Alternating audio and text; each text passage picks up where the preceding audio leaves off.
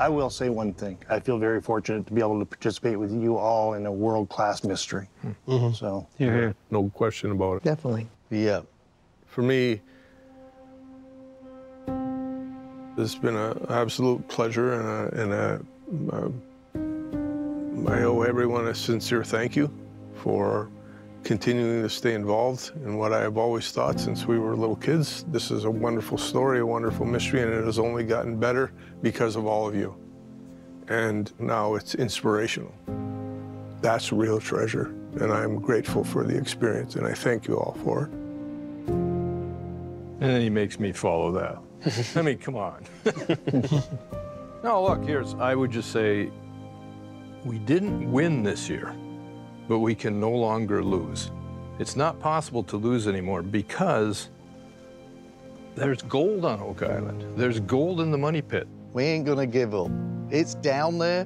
We're going to find it. Yeah, we got a good thing going, and we need to think about it and advance the ball next year. Hear, hear. yep. Yes. Shall we? Cheers. When they were just boys, Rick and Marty Lagina dreamed about a legendary treasure buried deep in the money pit on Oak Island. As grown men, the fact that so many capable searchers had tried for more than two centuries to find it inspired the brothers to take a chance themselves. See ya. Gary, Bud.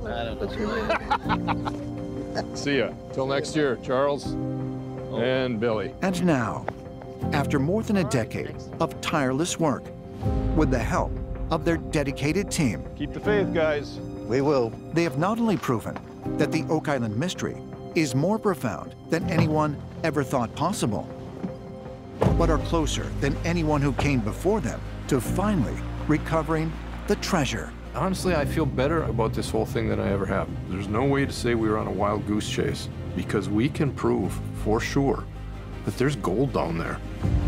Now the hunt for information is every bit as important, and it will ultimately, hopefully, yield results. It will find what we seek.